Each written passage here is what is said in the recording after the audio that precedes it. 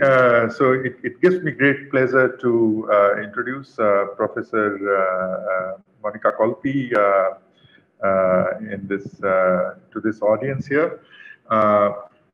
Professor Kolpe, um, you know, received her PhD in physics from University of Milano in 1987. Um, and after a couple of uh, postdoc positions uh, at Cornell University and SISSA uh, in Trieste, uh, she joined as a uh, faculty. She joined as a faculty in University of Milano in 1990, and then she moved to University of Milano Bicocca in 2001, where she works at present as a full professor. Uh, she has uh, over 180 uh, peer-reviewed publications with more than, um, I think, 130,000 citations. she is a member of numerous uh, science uh, boards, including uh, Einstein Telescope Observational Science Board, um, Virgo, Virgo Science Board, of INFN um, and uh, National Institute of Astrophysics, uh, National Institute of Nuclear Physics. Um, she has uh, served as a chair of uh, uh, the Astrophysical Black Holes Working Group from 2012 to 2018. And she was the vice president of scientific INAF Scientific Council um, uh, of uh, uh, um, from 2016 to 2020. Uh, she is a member of Space Science Advisory Committee. Um, she was she is a member of 3D Science Case Committee, and so on. there are a long list of achievements. I, I wouldn't go into all those details. Uh, she has uh, uh, done a lot of work in the area of astrophysics. Without further ado, I would welcome Professor Colpi to deliver the first lecture in this series. Professor Colpi. Thanks, Chandra. Namaste. And uh, good morning to all the students in India. It is really a pleasure to be with you, though I'm sad that I'm not in Madras and I just visited India only once in my life. I visited Rajasthan, and uh, I think it is an enchanting place, and uh, I would really enjoy.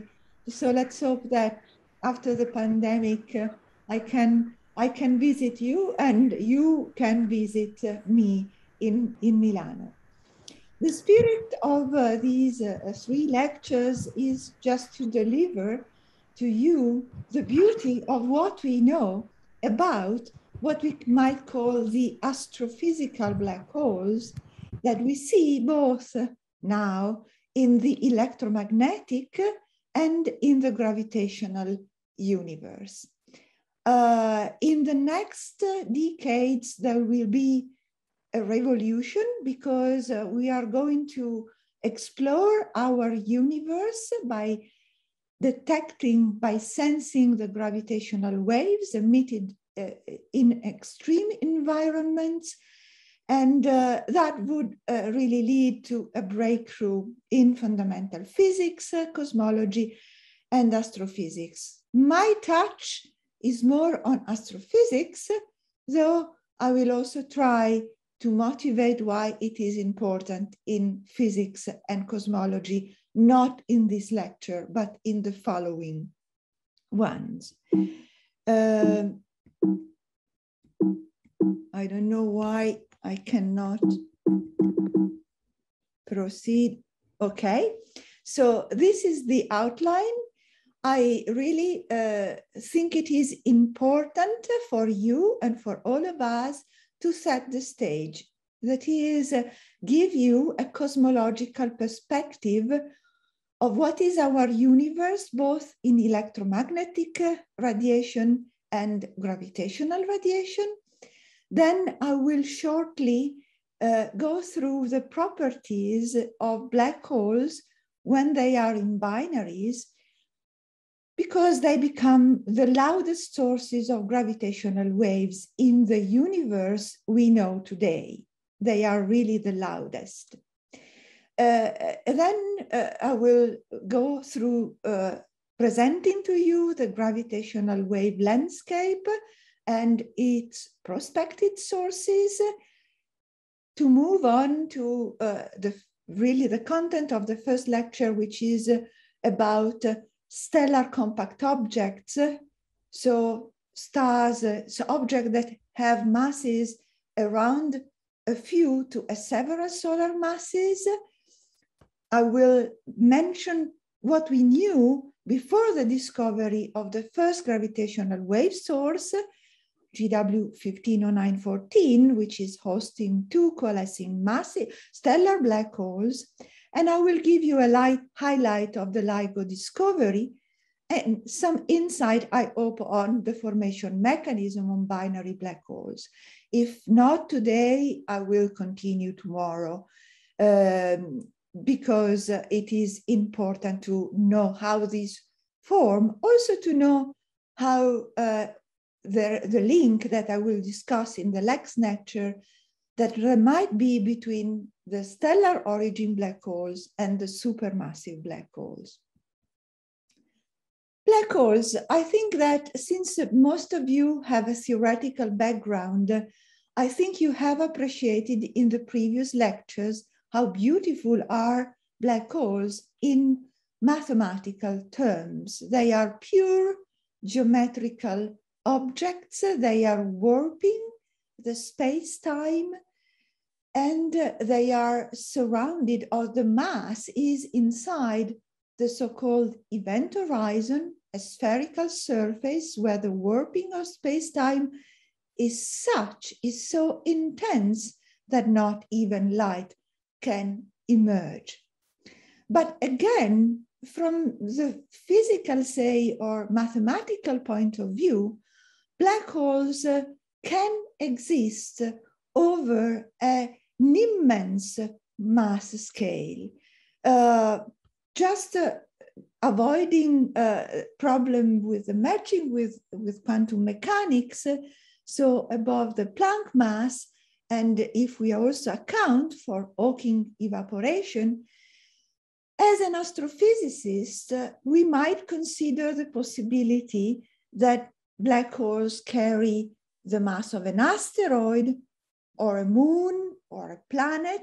If the Earth would become a black hole, it would have a Schwarzschild, a gravitational radius uh, that it is uh, of only uh, uh, uh one centimeter around. So Earth in a spoon, or in a sugar spoon, but uh, we believe that uh, black holes uh, of stellar mass uh, are filling uh, the sources, our sources in the universe, as well the supermassive black holes of 10 to the 6 up to a few billion solar masses. These supermassive black holes have an horizon which has typically the size of our solar system. So you imagine that you have a billion solar masses, which is uh, the, the, the mass that has uh,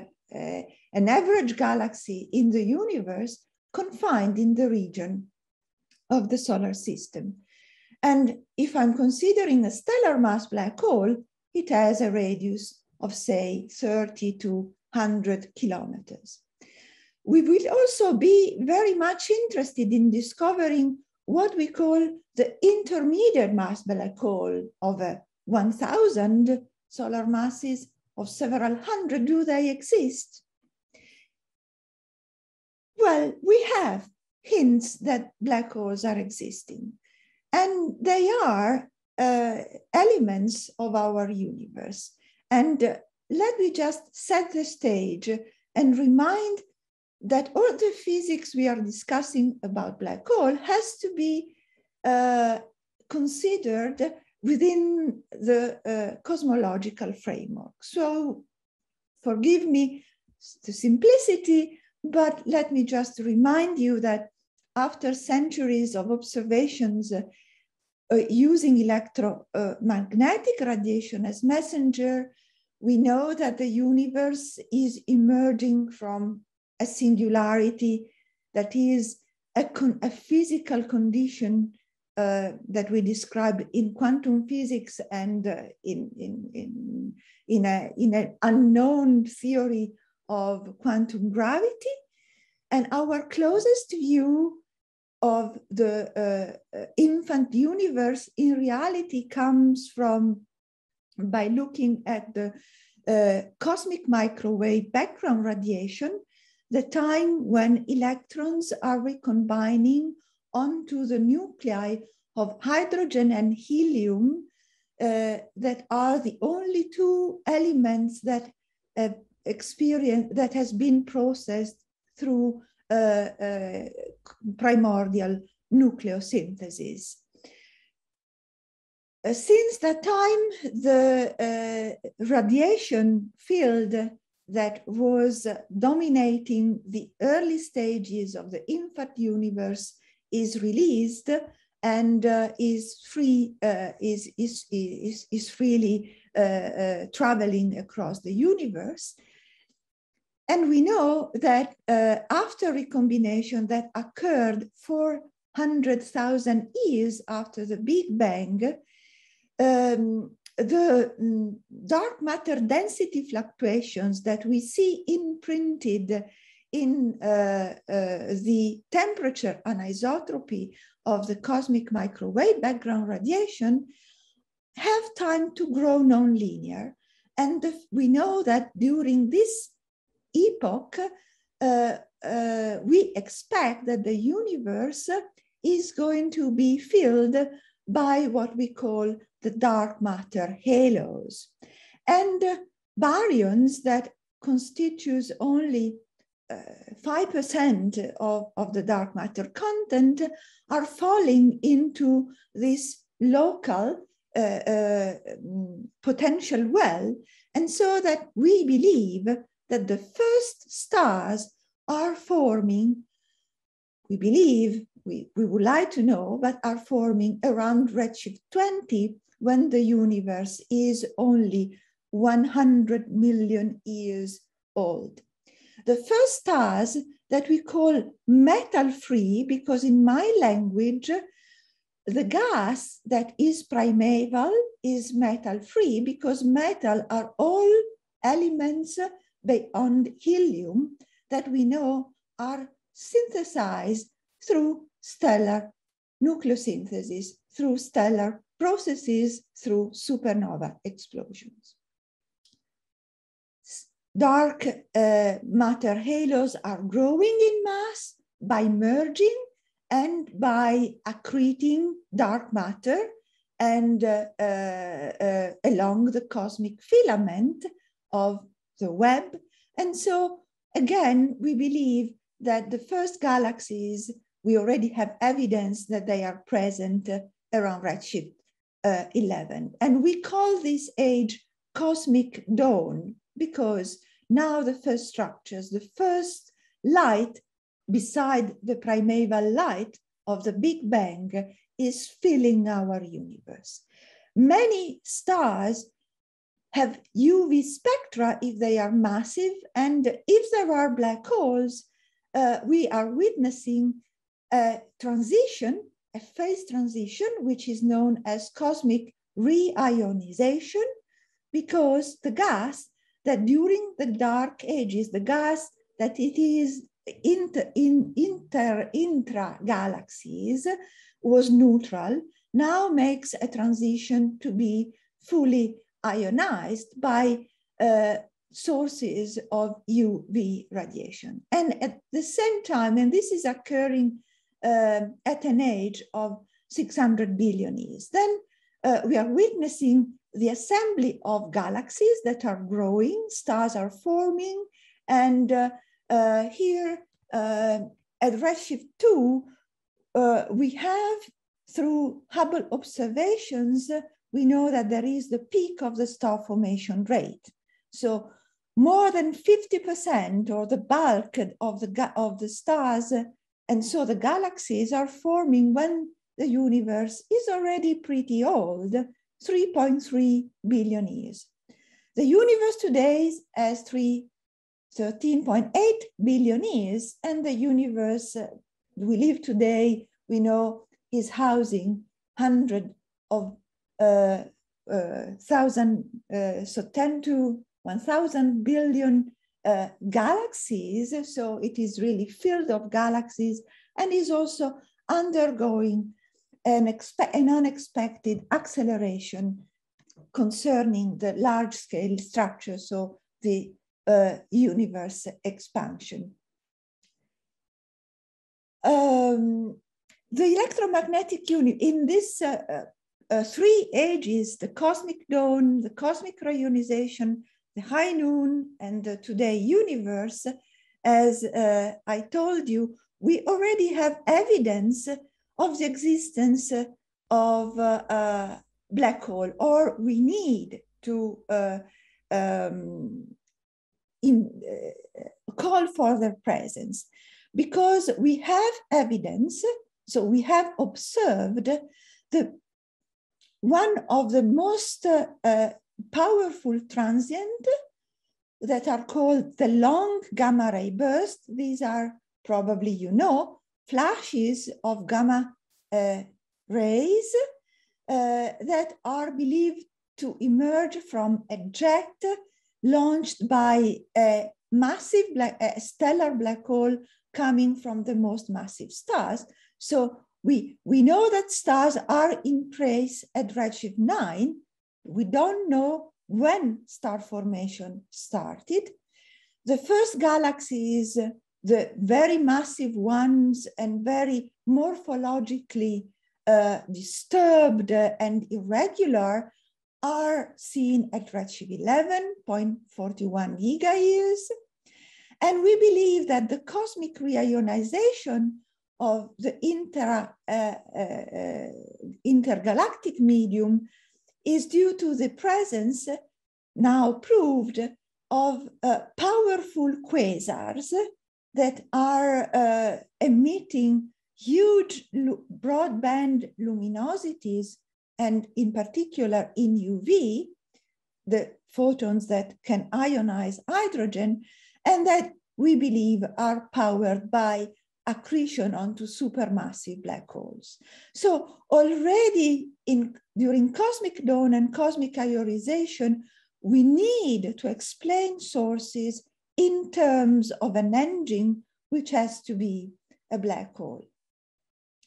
What is it interesting is that when we have the peak of the star formation rate and the peak of the assembly of galaxy, we see all over spread in 1% of the galaxy, and nuclear activity, which we call AGN nuclear activity, which again uh, requires gas uh, feeding a supermassive black hole, and it is synchronous.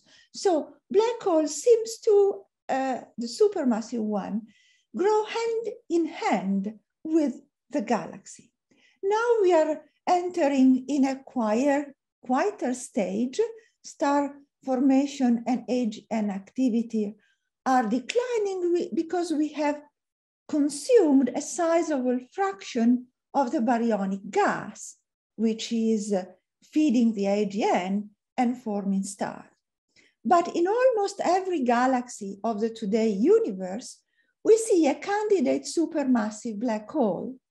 I say candidate because observation can't tell exactly that the engine is a black hole and a black hole as described by general relativity, but something that has a very intense uh, uh, gravity in order to, uh, uh to let the gas outshine. And also in our own galaxy, we see many X-ray binaries uh, that are uh, interpreted as being candidate stellar black holes and neutron stars that are accreting material from a donor star. This is the electromagnetic universe, but how the universe would appear if, uh, uh, oh, oh, well, so in this, in this uh, slide, sorry, I'm just uh, summarizing what I said. So we have evidence also in our galactic center, I will talk about this in the next lectures, that the black holes or the candidate black hole are existing.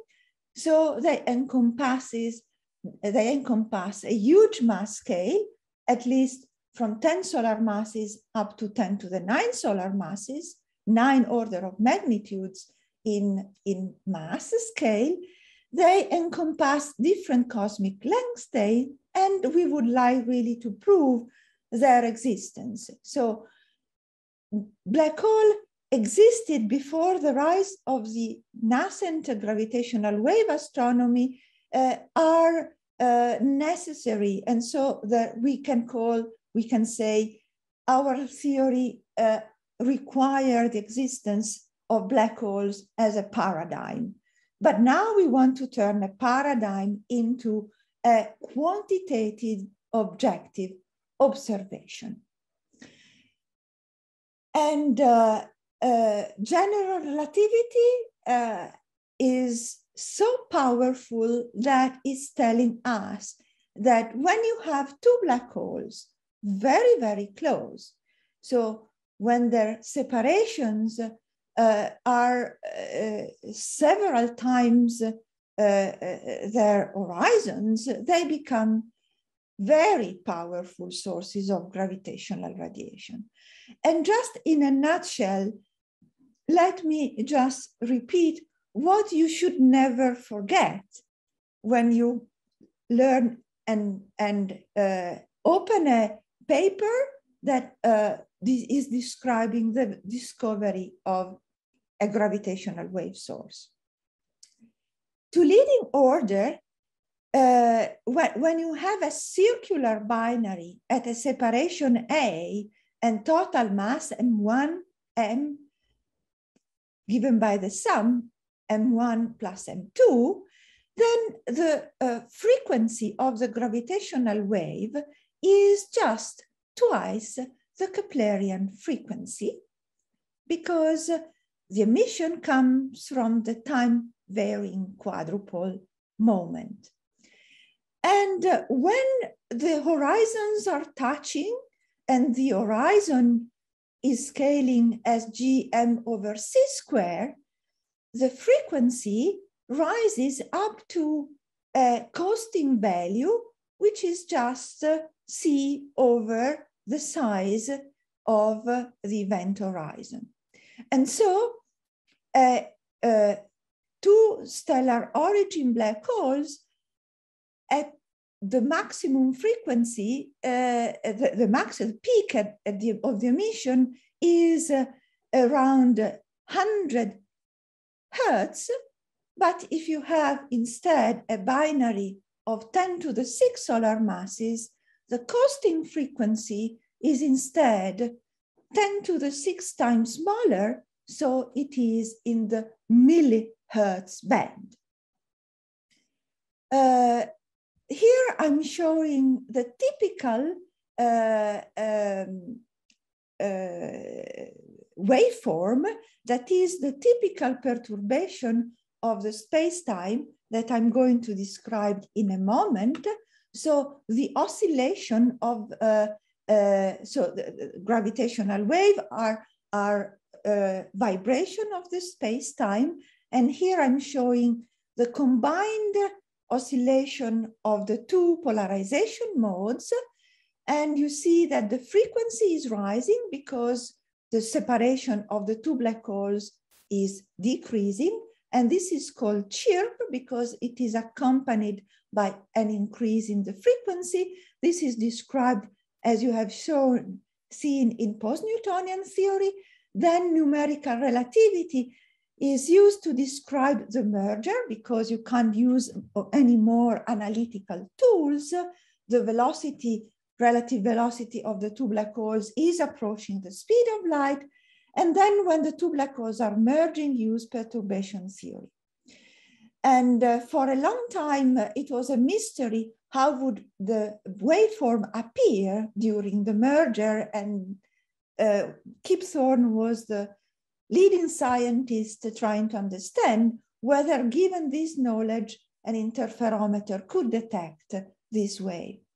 Let me just give you two numbers that you never should forget that we, when you have two black holes that are merging, the energy that is carried away in gravitational waves is in general, uh, let's say uh, 0.08, uh, the uh, reduced mass of the system because nu mc square, uh, nu is the so-called symmetric mass ratio, um, is just uh, nu mc square, nu m is the reduced mass of the system. So for equal mass binary, this is one fourth. And so a sizable fraction of the rest mass is released in gravitational waves. And it depends on the mass. So it is clear that if you have two black holes of 10 to the 9 solar masses in the universe, you release 10 to the uh, eight solar masses c square in gravitational waves. So a huge, huge uh, amount of gravitational waves. And, and citing uh, Cliff Will said zillions of zillions of zillions of gravitons if the graviton is describing the quantum state of a, a classical uh, gravitational wave. But what is also important to remind that the luminosity is independent on the mass because it is energy over time and energy and over time have the same scaling with the mass in G equals C equal uh, one units in, in, in dimensionless units. And so if all binaries, regardless the mass, when they merge at merger, there is a flash of luminosity, which is huge, uh, as proved by the observation by LIGO. It was 10 to the 56 per second, which is far, far larger than the luminosity emitted by the all galaxies in the universe, with the exception that it is lasting only for a very short time. Um, Professor Colpi? Yes? Uh, there was a there was a remark in the chat about this new definition that denominator should have the m square. The denominator. The the new definition the there should be a m square. Uh, Where? The symmetric uh, mass ratio Oh, yes, the m square. Sorry, sorry. Of course. Sorry, it was my mistake. You probably also know that uh, one of the most, uh, uh, the first parameter which is measured is the so-called chirp mass, which is a combination between the reduced mass and the total mass of the system, which is measured by the rate of change of the frequency of the gravitational wave. Today, the sources we have detected are nearby, but with Einstein Telescope and LISA, we are going to uh, detect uh, uh, sources that are at cosmological distances and gravitational waves. Let me remind you that suffer mm, only the expansion of the universe. And so uh, uh, they are uh, straight, stretched by the expansion and so uh, the frequency decreases as one over uh, plus t, as also radiation does. And uh, uh also the chirp mass is affected by uh, the same change because uh, again, the mass um, is related to the size and the size is related to the frequency that is emitted. And here, I think it is familiar, but it is very important. This is the information uh, that a detector, um, which is able to disentangle the two independent polarization state can measure.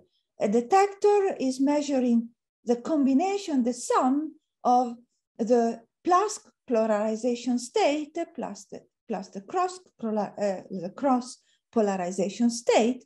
Let me just comment um, shortly. Uh, first of all, you have to notice that uh, uh, the wave uh, is declining with the, uh, the inverse of the luminosity distance, whereas the flux in electromagnetic radiation, which is detected, is decreasing as the square, uh, as one over d square. And so this is why um, gravitational waves can be seen out to very large redshift because they are declining with a, a, a, smaller slope compared to radiation. So we have in principle, depending on the sensitivity of our detector, the possibility of having the access to the entire universe, as I also will show in my uh, uh, lectures. It uh, is uh, um, depending the uh, magnitude by the uh, angle iota between the angular momentum uh, of the binary and the line of sight. And uh, when we are seeing face on a binary, we are getting both H plus and H cross. So we try to uh, sort of uh, select at the beginning the uh, binaries that are most likely to be face-on oriented because we lose half of the SNR for an edge-on binary. Uh, if we measure the independently the two polarization state, we can break the degeneracy between the luminosity distance and uh, the, uh, uh, the, the, orientation, uh, the, the, inclination angle, iota, so that we can learn about the phase of the wave, which contains all the information we would like to know. The mass ratio, that is the individual masses, and uh, uh, the spins, how the spins are coupling, and uh, uh, with the angular momentum. And also, if you are talking about uh, uh objects that are not point-like, in particular neutron stars, there is also information on the tidal deformability. And so how uh, deformable are the star before they merge. Okay, so with this binary, we can sort of learn something that it is extremely difficult to learn from electromagnetic observation of a black hole. We can learn about the masses, we can learn about the spin, which is a fundamental parameter, especially if we want to prove the no-hair theorem. Uh, we can uh, see if really they are described by the Kerr metric by looking at the multiple multipolar structure, which is imprinted in, uh, especially in the ring down phase, as you probably learned. So we, and uh, we might also detect uh, their position in the sky and identify the host galaxy and do astrophysics. So uh, this single source contain, which is described by 17 parameter that has been to be extracted by this uh, waveform. So it is a challenge in terms of parameter estimation that has to be carried on with extreme care and requires priors in uh, the uh, definition of the sources, but uh, of the astrophysical sources, but it is, these are measurements that uh, are uh, precise and are unique of this new emerging uh, gravitational universe. So the expectations are that, as I will show, that we can discover massive black hole colliding in galaxies, growing black hole during cosmic dawn, uh, seeing the relic of the first stars, and why not? Also a primordial uh, mm, uh, cosmological uh, background from the early universe, not associated to inflation, but to other physical processes, plus astrophysical foreground. So we will learn, we have a completely different view of uh, the universe. So we often in public lectures, we are just saying we are going to add to the uh, light to the to to the to the picture we have the sound and so we make a movie of the universe uh, you have then understood that uh, gravitational wave only confining to binaries uh, is intrinsically a multi-band uh, uh, universe. Indeed, mm, the spectrum of the gravitational wave universe can extend from, say, if I'm using the frequency as reference to 10 to the 3 hertz or several 10 to the 3 hertz, which correspond to periodicities around a millisecond or less. And uh, uh, besides the binary black holes that LIGO and Virgo have detected, we expect signals at the time of a supernova explosion and also signal from oscillating pulsars uh, if they uh, carry even tight deformability. These two uh, signals has not been detected yet. And in particular, we know that neutron stars are really round, round, round stars because the ellipticity, so the deviation from sphericity, is now uh, measured down to a limiting value, which has to be less than uh, one part in 10 to the 11. Uh, if we move to lower frequencies, uh, uh, and let me also remind you that the range between, say, 10 hertz to a few thousand hertz is the one probed by terrestrial interferometers like LIGO, uh, Hanford and Livingston, like Virgo, KAGRA, the cryogenic uh, uh, Japan uh, interferometer that is now joining the LIGO Virgo collaboration. But let me remind you, and we will be talking the third generation of gravitational uh, inter, uh, terrestrial interferometers like Einstein Telescope and Cosmic Explorer will let us see the entire universe. Then, if we move to the band which is corresponding to uh, frequencies uh, of around a millihertz corresponding to hours and minutes, we will be detecting the signal from coalescing, coalescing black hole of 10 to the 6 solar masses, that is black holes as the one which is in the midst of our Milky Way, and the so-called extreme mass ratio that I will describe next lectures. And then there is an ongoing uh, activity of searching um, the foreground uh, emitted by a, population of supermassive black holes of billion solar masses in their spiral phase, still far from merger, say even centuries from merger, okay? uh, that can produce a foreground that uh, radio uh, pulsars, since our perfect clocks, can detect through uh, uh, the correlation in the signal in the arrival times uh, on Earth that could really unveil on parsec scale such a mm, spect, background. And we are just in the verge of discovering this.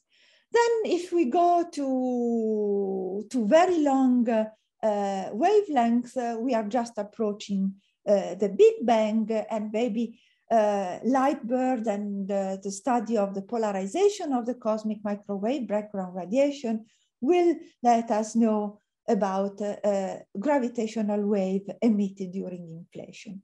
I'm not an expert on uh, cosmological uh, uh, sources uh, background, but the, in general, they are broadband. So they could be in all bands, also in space-based interferometers that are uh, the ones that can detect the frequencies at millihertz, and this is LISA. Okay, so uh, just to let you know uh, uh the power of this uh, gravitational universe, which will lead to a, a new renaissance, we will be proving uh, gravity in extreme and highly dynamical space uh, uh, regimes never uh, discovered before.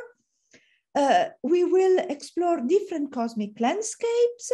We will unveil the nature of neutron stars. Though the topic is black hole, I would like to mention shortly neutron stars. We will unveil the nature of all the engine that need uh, to power gamma ray burst and active galactic nuclei. And we have a complementary view of our evolving universe, carrying precision test of general relativity, measuring the Hubble flow, and discovering the unknown. Before the birth of the gravitational wave astronomy, we knew the existence uh, on stellar scales of neutron stars and stellar origin black holes. Uh, Professor Colpi? Yes? Yeah, sorry to interrupt. Uh, uh maybe this is a, a, good point to ask uh, uh, the participants if they have any questions so far. so, panelists, participants, if you have any uh, questions, maybe this is a good time to ask. Uh, uh, you can log your questions in the Q&A using the Q&A button or raise your hands.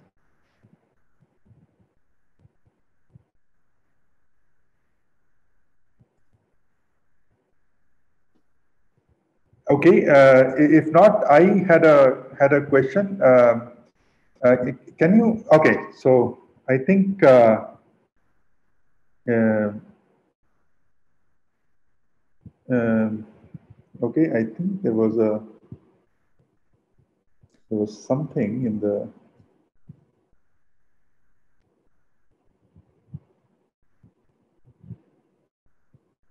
um, okay I, I had a had a question uh, okay let me just uh, see there was a chat. There was a question on the ellipticity of the neutron stars Okay, let me just allow one. Uh, yeah, okay. Uh, I have allowed. Can you ask your question, Aditya? Yeah, thanks. So it was uh, regarding what you pointed out about, about the ellipticity of the neutron stars. And you said it is constrained to be smaller than one part in 10 to the power 11.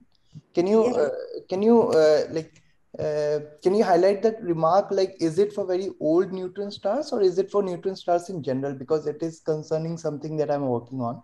So uh, uh, well i'm i'm I, I i was planning to talk this tomorrow uh, and because also i want to go back to to the last paper of the virgo collaboration but um, uh, i th i think it is it is coming so let, let me answer and I will check. Certainly for the old neutron stars, you expect more round because, uh, because in the millisecond pulsar, the magnetic field is so low, there are no glitches that are very stable. And so you would expect uh, a much lower level of ellipticity. But for Crab or for very young pulsars, the limit might be 10 to the minus 8 because there you would expect instead that there are little mountains uh, of millimeter size and um, and you uh, but still uh, the constraints are very are very so there is no yet any measurement of a, a gravitational signal coming from, from uh, uh, deformed uh, pulsars. Mm, thank you. Thanks. I just wanted to clarify that. Yes. Um, so you know the indirect uh, evidence of gravitational wave emission came with the discovery uh, by Hulse Taylor, and this was indeed the motivation for uh, uh, the Virgo people and the LIGO people to uh, to uh, push the sensitivity limits in order to detect the coalescence of two neutron stars because we knew they're in place. We have about a dozen in the Milky Way. We know for them that the coalescence time is several million years and they are rare. So we had to go at least to the Virgo cluster. This is why Virgo is called, or to go to 100 megaparsec scale to hope to see uh, the merging of two neutron stars and also to prove the association to the short, short gamma ray burst. So the discovery of the double neutron star system in the Milky Way has been the, the strong motivation to discover not only the wave per se that would directly that would be would have been groundbreaking, but also to uh, to, to associate this to the, to, to, to the gamma ray bursts. So that was certainly uh, very important. Then uh, uh, we knew of the existence of stellar black hole candidates in, uh, in uh, accreting uh, X-ray sources. and they were established to be black holes because it was possible in binaries to have an approximate measure of the mass that was exceeding the maximum mass of a neutron star. And, uh, but nobody was expecting uh, that the first source of gravitational wave was uh, the coalescence of two stellar black holes because also they were invisible otherwise. So there were no evidence. No evidence as well of the existence of a pair of neutron star plus a black hole. But this was the motivation to really go uh, into uh, uh, detecting this, and in particular to learn about neutron stars that are the densest and smallest star in, in the universe. They carry an hard surface, typically of 10 to 15 kilometers. And when you smash two neutron stars, you only hope to see uh, so the content of the uh, crust, so where you have nuclei, electrons and neutrons, but from the deformability uh, that is imprinted in the phase of the waveform, you might infer indirectly whether there is a, uh, inside a, a, quark hadron phase transition. So uh, in the future, uh, it's, it's a, it, it is an amazing subject, this, by looking at the um, deformability which is imprinted, we will learn about these beautiful stars, for which we know from the general relativity again, that they carry a mass uh, uh, that cannot exceed a limiting value. So you know that neutron stars exist only up to a maximum mass. This is a clear prediction of the Oppenheimer-Volkoff equation. So a clear prediction of general relativity, which is telling us that even if you imagine to have more mass, more mass packed into a very small volume where matter is reaching nuclear densities or even above nuclear density, so above several 10 to the 14 gram per cubic centimeter, then the energy density content and the pressure themselves become source of gravity because GR is a nonlinear theory of gravity. And thus, gravity becomes a source, uh, the pressure is a source of gravity. And so no uh, uh, a star with an hard surface can exist beyond a maximum mass, which depends on the equation of state. In other terms, on the deformability of the star, in other terms, on the content inside the core of the neutron star.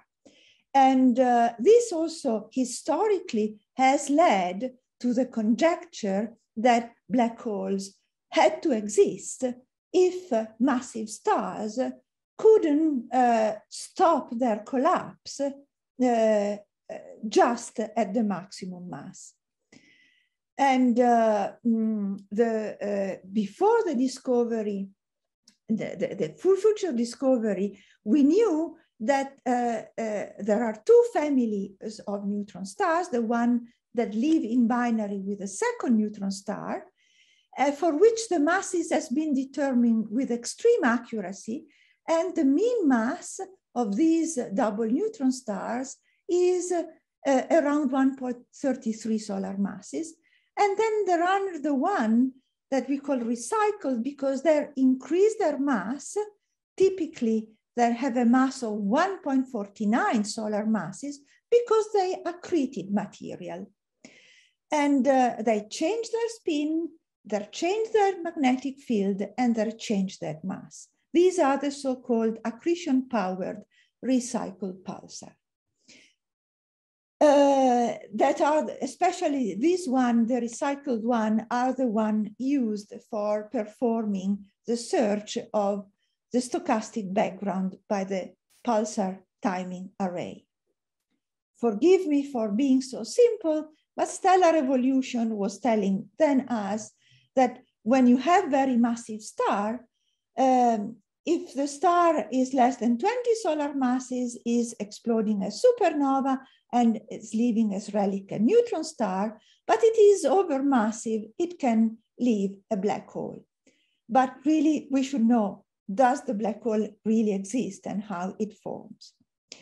Uh, the stellar uh, black holes that were um, mass, uh, the measured masses uh, were consistent with the paradigm that since the maximum mass is below three solar masses, regardless uh, the, the equation of state from considerations of causality, that any equation of state should be have an associated sound speed, which has to be less than the speed of light, we knew that um, the black hole candidate were those X-ray sources housing an object that was heavier than three solar masses. And this was the masses that were, are measured with large, large uncertainties. I skip this. So the discovery, the discovery was fantastic. Uh, because uh, uh, um, I was just checking the time, uh, because it was unexpected for several reasons. Well, it was unexpected because it was uh, quite loud. In, in fact, it was detected uh, from the, birth, the alert uh, system. And as Cliff was mentioning in his lecture, the signal, the raw signal, uh, was initially fitted with a wavelet, but um, since uh, uh, astrophysicists and relativists were working uh, for decades in understanding the true waveform or the best waveform that could uh, general relativity predict by matching post-Newtonian physics, numerical relativity, and perturbation theory, it was immediately clear that um, it was possible through uh, the template provided by general relativity uh, discover that the signal was coming from two uh, uh black holes and not two neutron stars that were merging. This uh, uh, was the energy that was emitted in gravitational waves, 3.6 times 10 to the 56 ergs per second. Three solar masses were released. Uh, the full signal was seen, not only the spiral, but the merger and the ring down, also portion, though it was uh, difficult to, to detect.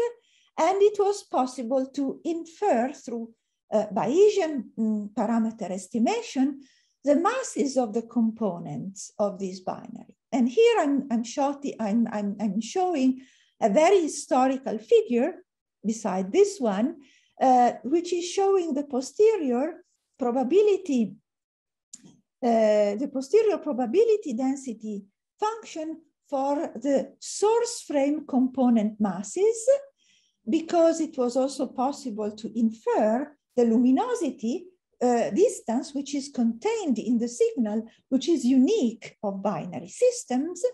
And thus, it was possible to say, to infer that the primary mass, the most massive object, had a mass with a typical with of about 35 solar masses, and also the second object was having a mass of around 30, far away, far heavier than the, the known black holes that I was mentioning here.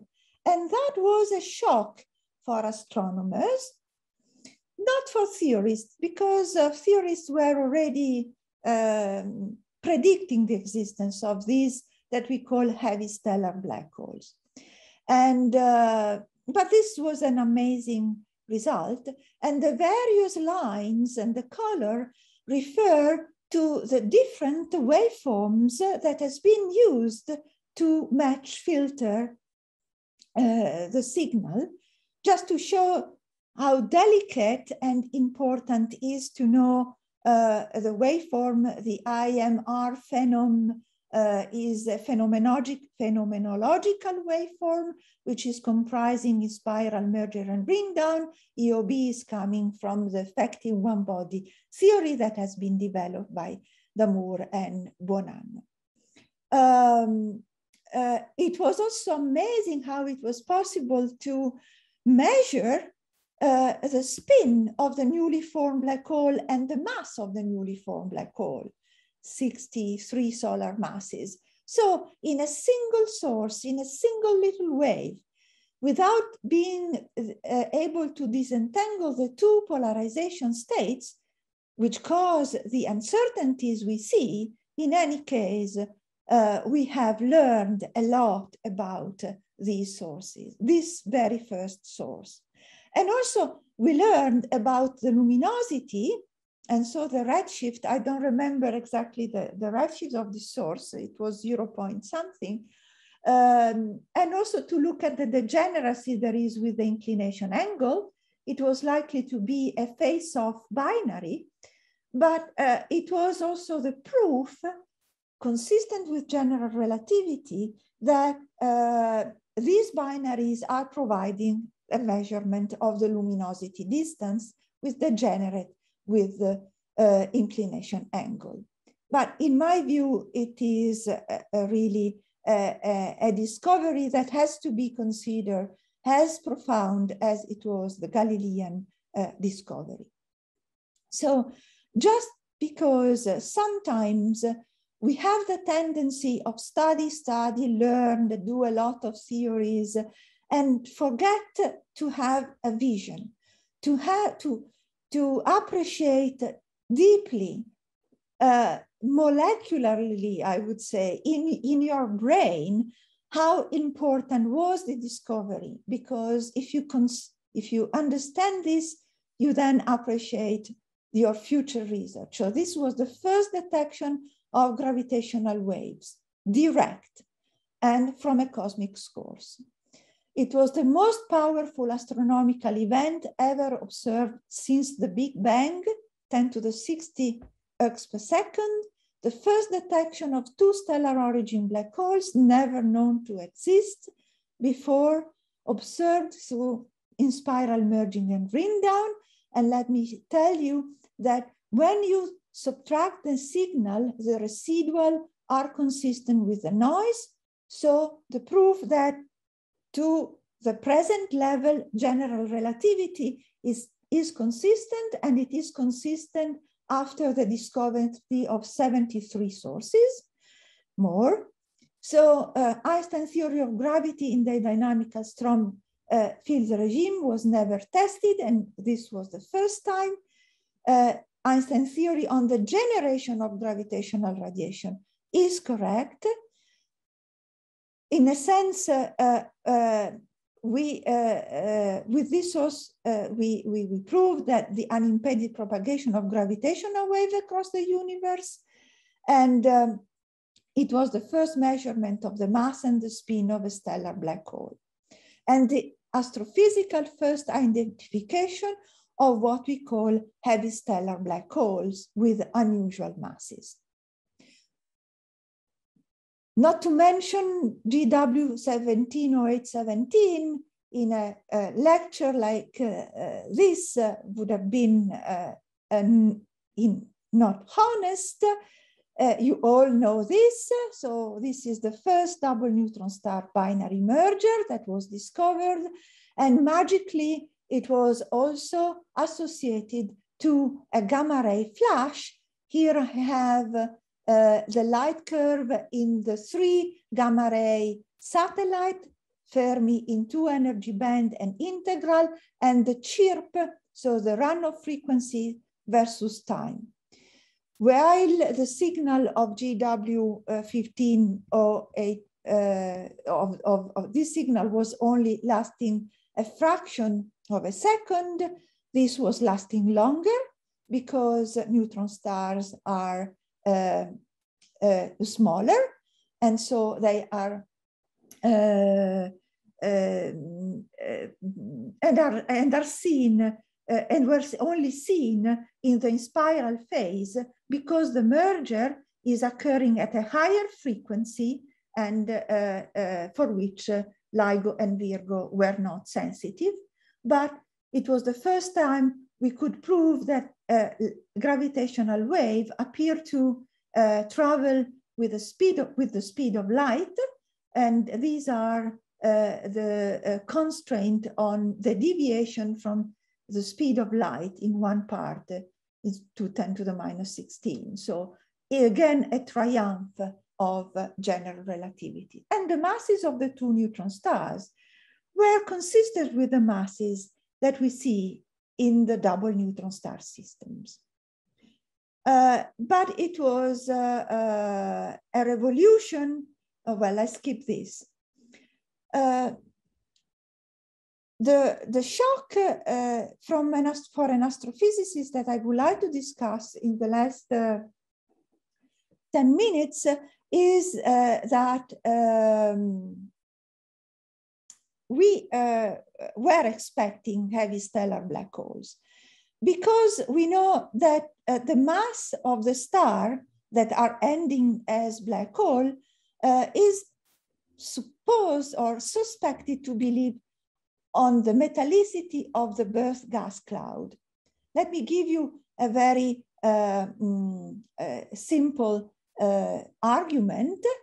Uh, so you know that a star uh, comes after the fragmentation of a massive gas cloud of a massive core in the interstellar medium. If you, and in order to make fragmentation and form stars, uh, uh, you need cooling.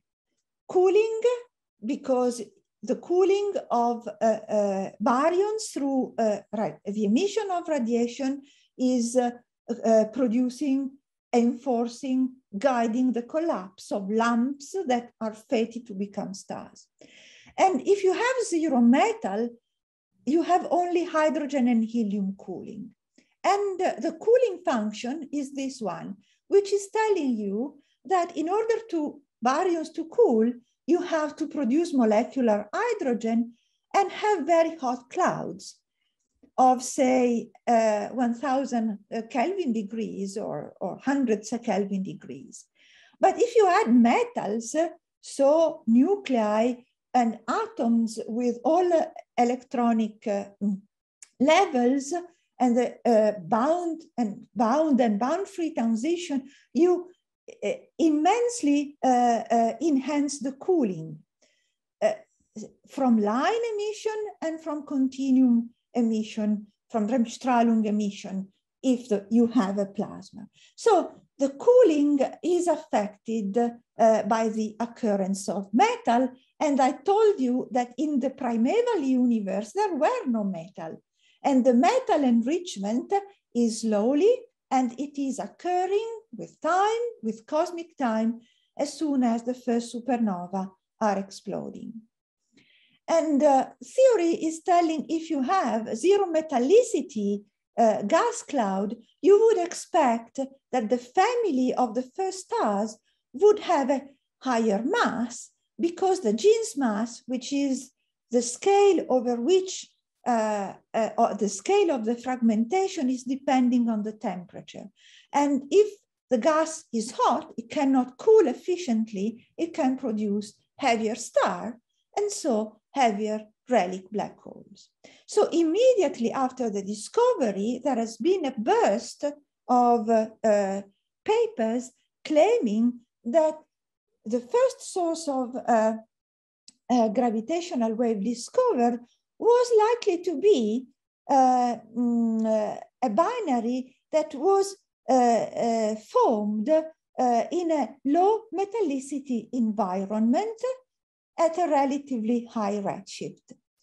And uh, uh, this was a prediction made by Heger back in 2033 that was telling uh, this fact. So uh, here is metallicity, here is the mass of the uh, star initially on the zero age-main sequence.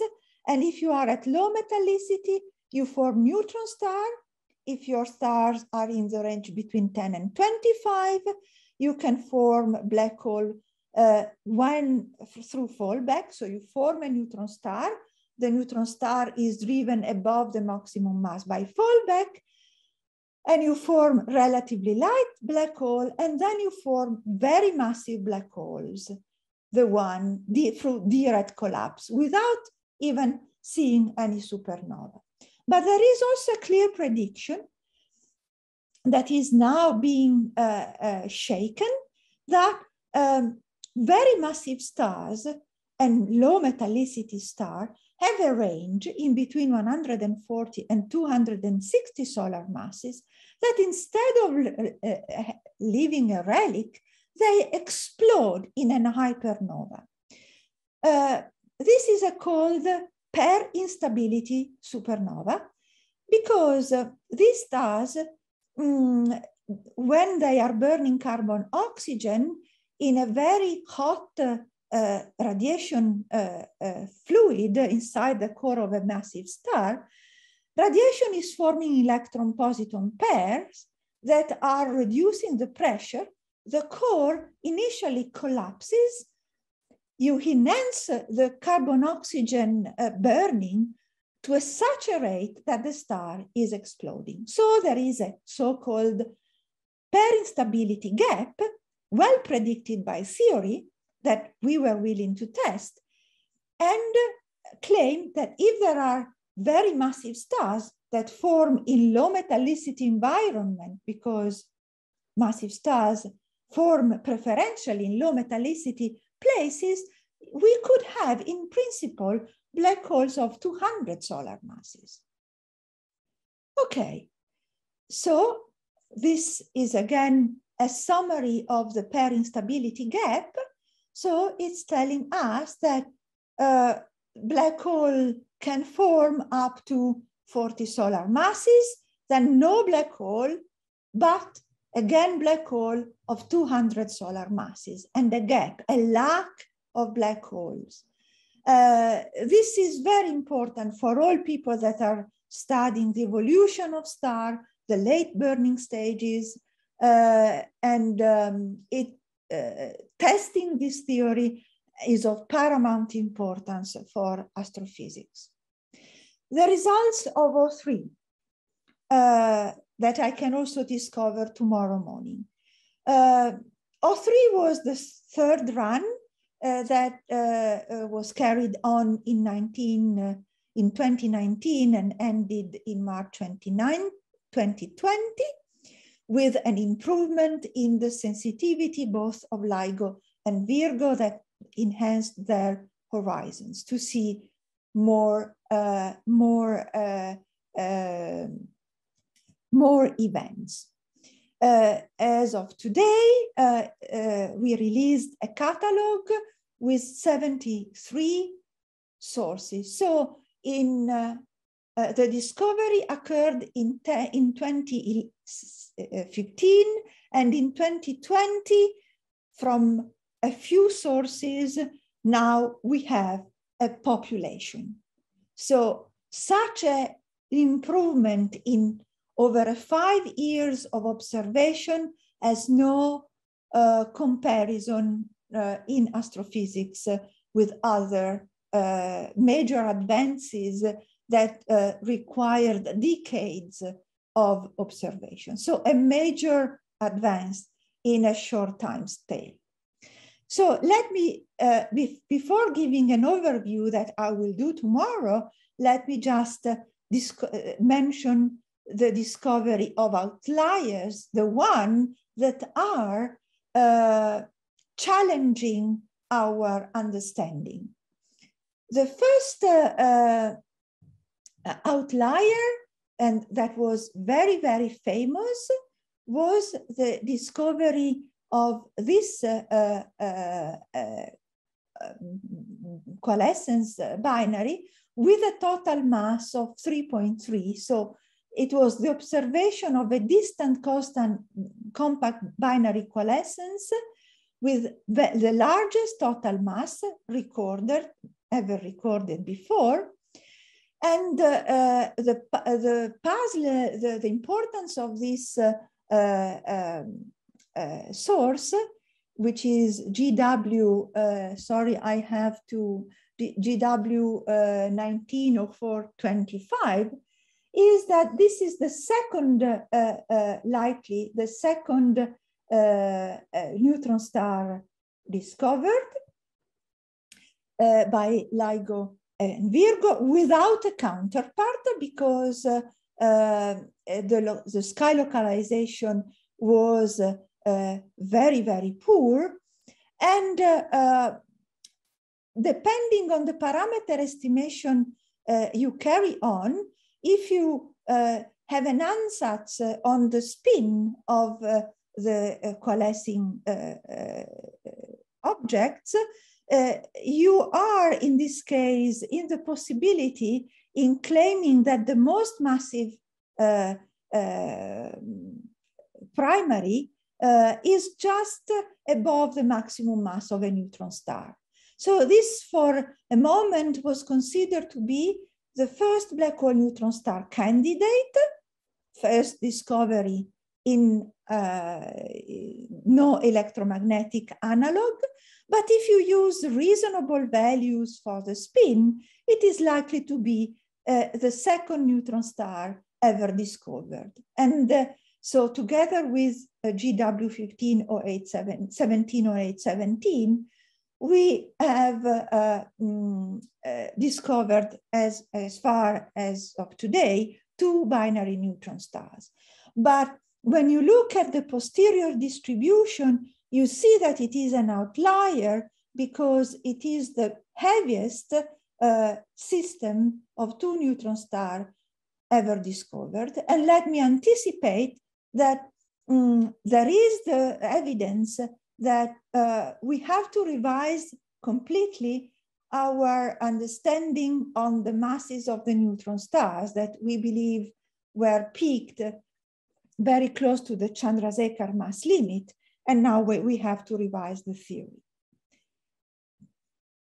The very important source, the, the, the, third important source was the discovery of a 23 solar mass black hole plus a 2.6 solar mass compact object. And uh, this is extremely important because it could be the lightest stellar black hole ever discovered or the heaviest neutron star ever discovered. Again, through the Bayesian parameter estimation, uh, we still have uncertainties in the masses, but of course, uh, this is a sort of, again, an outlier because uh, in the electromagnetic universe, we have seen a clear gap between neutron stars and stellar black hole. And we don't know whether there is a continuous mass spectrum related to how the supernova explosion and collapse is occurring. So this is the most unequal mass binary ever observed uh, so far. Uh, in the catalog, uh, we have two additional neutron star black hole coalescences that are extremely important. A black hole of 8.9 solar masses plus an heavy neutron star, another black hole, and a relatively light neutron star. Uh, it is extremely important because also these sources could be at the origin of short gamma ray bursts. So uh, uh, because the neutron star can be deformed uh, before being eaten by the black hole during the coalescence. And here I have made, made no time to, to, to discuss that, but the, the idea uh, again is that uh, mm, we are dealing uh, with, with neutron star here, M2 is a neutron star, that it is indeed far massive than the, uh, the neutron star we, we have seen before. And uh, um, Another very important source is this one. Uh, this is a black hole's black hole binary, which uh, has a mass ratio of 4.21. So it has a very large mass ratio. And one prediction of general relativity, here is the beautiful uh, plot of the waveforms seen in Hanford, Livingston, and Virgo so this is a three detector uh, uh, um, signal. So it, it is uh, well traced back. It has a very high uh, signal to noise ratio.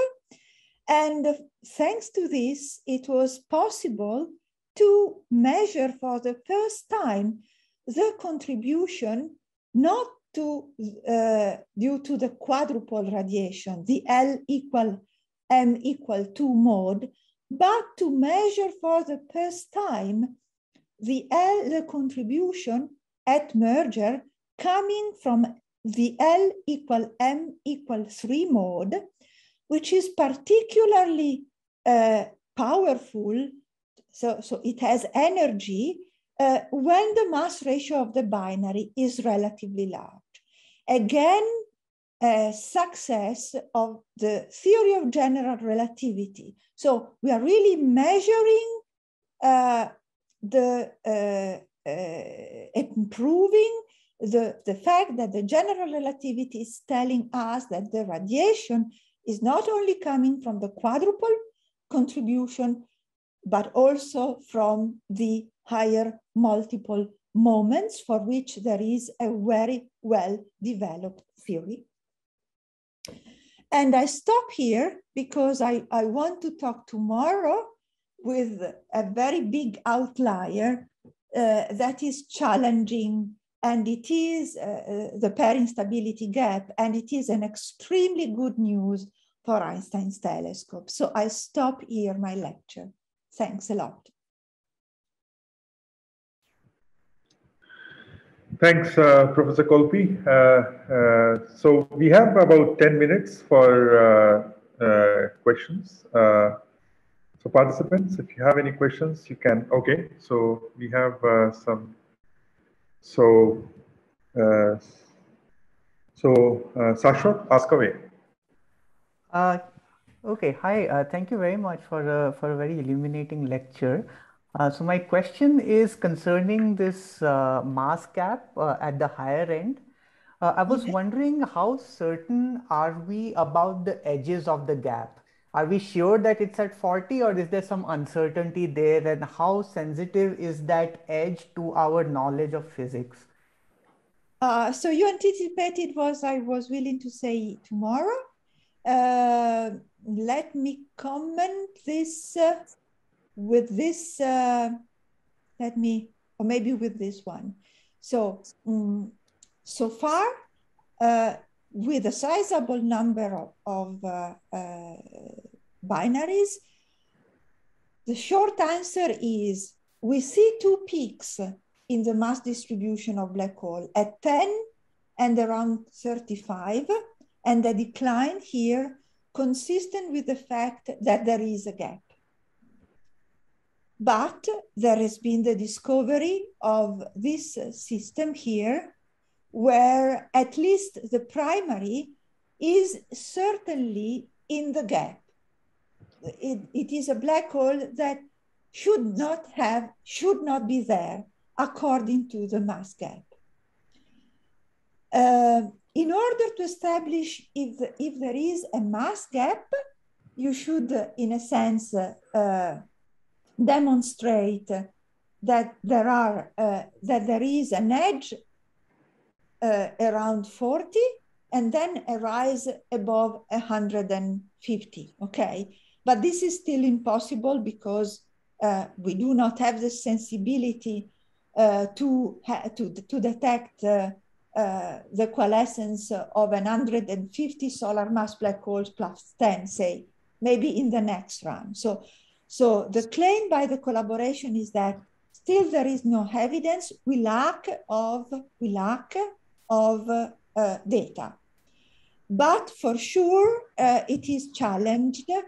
So we we have we have an, uh, an outlier, and there has been uh, suggestions that I would like to discuss tomorrow that the origin of this uh, black hole may not may be related to multiple mergers uh, and uh, or it has mainly it is multiple merger is the only way or um, you need a very specific uh, um, evolution of the binary in order that the star doesn't develop a specific carbon oxygen core so it is there it is a challenge we will need to know more. I see. Thank you very much. Um, okay. Uh, there is another question. Uh, Aditya, you are on for asking the question. There is a question by Aditya. Yeah. Mm, uh, so uh, my question was also regarding the disputed event, uh, uh the outlier. So you said, uh, for example, the 3.3 solar mass merger. Uh, so does the tidal deformability not tell us about the nature of the object? So as far as I yes, as far as I know, it is this three. This let me just go to this first outlier. No, there is no, there is no. Um, so the, the SNR was too weak to have any evidence uh, of the tidal deformability, unfortunately. And was it also the case for uh, the asymmetric merger with the ma mass ratio of 4 is to 1? Yes. No, okay. no, no, uh, it's too, it's too early because uh, the deformability, you see the deformability just before the merger and uh, it is very, very difficult to see it. Okay, thanks. But it is a, it will be fantastic with Einstein tab, but maybe also with the next run.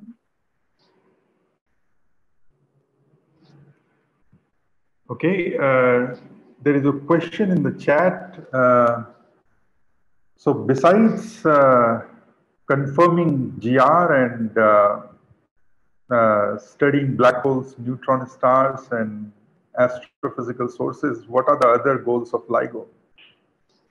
The, the other sources of LIGO? The other goals of LIGO besides mapping uh, black holes, neutron stars, and astrophysical sources and testing GR? What, what, what can LIGO can do? What, what, uh, what else LIGO can do? What are the other near future goals of LIGO? Uh, probably uh, so there is an ongoing uh, um, there is an ongoing uh, um, study that uh, I might report tomorrow uh, on the non-detection of any gravitational wave signal that can come from uh, the known pulsars in our galaxy. Uh, of course, this, the, the, the, this, this would be a sort of uh, next groundbreaking uh, uh, discovery. and as I was also saying, then it's not clear we are expecting a supernova in the Milky Way. And this is again, uh, it would be super, super fantastic because we also have neutrino detectors. And, uh, but you know, uh, you have to be far more even luckier than for GW, GW17 or 817 because you need uh, that uh, your telescope should be on just at the time the supernova is, is breaking and in reality the collapse is occurring one hour earlier. So it would be uh, fantastic. I, I don't have it here but I, I I, I was planning to have uh, since uh, quite unexpectedly nobody was uh, before uh, before the first event nobody was uh, thinking that there were an overwhelming number of events uh, of black hole black hole binaries. And now it is important to understand the contribution from the most distant population whether they form a background of unresolved sources. So maybe in the next run, uh, uh, we will be possible to set limits, so to, to discover this foreground, or with Einstein telescope for sure, this will be very, very possible. And then uh, it is the unknown what we, we expect. Uh, let me say that LISA, that I will discuss on Sunday, on Saturday, may uh, provide uh, uh, maybe uh, some some even more astonishing discovery because we really don't know whether a 10 to the 6 or a 10 to the 5 compact object is a black hole or it could be a boson star or some exotic more object. So maybe we'll also discover by, by looking at the tidal deformability whether also neutron stars are different respect with respect to what we we are claiming. But apparently, so we will probably select the equation of state. This this is the it is a very delicate issue, but but we will be there. Yeah, I think uh, that's more than enough. Uh, Uh, okay, uh, I think Aditya, you have another question. Yeah, it is building up on the uh, outlier events and the remark you just ma made about exotic objects. So I just uh-huh. wanted -huh. to ask whether there are like since these are these are already outlier events, GW uh, 190420, those sort of events are already outlier. Whether they are respected uh, uh, exotic objects. I would not say accepted, but at least respected candidates for exotic objects for these events. Yeah, the GW 190425 and no, other. no, I think it is uh, still. Let's say it, they are challenging uh, some of the uh, stellar physics, but they are not challenging uh, fundamental physics, I would say. Uh, so, so basically, these are either neutron stars or by, uh, or black holes. You're saying that? Yes. Let me okay. say that un, un, until we will be measuring the deformability, it seems to be that uh, there is no uh, no deviations, uh, no deviations not even on, the, on in, the, in the quadrupolar structure of a black hole. Uh, so it uh, seems that uh, we, we all we are willing to search for deviation from GR, but GR seems really uh, still uh, consistent. Uh, uh so when now I will show tomorrow a few tests, but but it is really something. It is for the time being spectacularly uh, spectacularly co uh, confirmed. And uh, of course, uh, the, the, the, masses, uh, uh, it, it is interesting, especially when we will go with Einstein telescope to dig deep into the, into the universe. it's the only way you, we can learn about star formation at redshift uh, 7 8 no? Because uh, we, we will only see galaxies but we, we, we won't see stars. And so it is a way to learn about stars at cosmic at cosmological distances. So this is is is really something that should uh, should uh, impress you. Thanks thanks monica monica. Thanks for being so patient and coping with such stupid questions. Thank you. Thanks, uh, Aditya. Uh, okay, uh, are there any other questions? Uh, okay, Professor Colpi, I think uh, uh, those are all the questions that we had. Um, I think we can close the lecture for today. and we will again Uh, meet at 11.30 India time tomorrow, 7.30. See you tomorrow. Okay. Yeah. yeah. Okay. Bye-bye.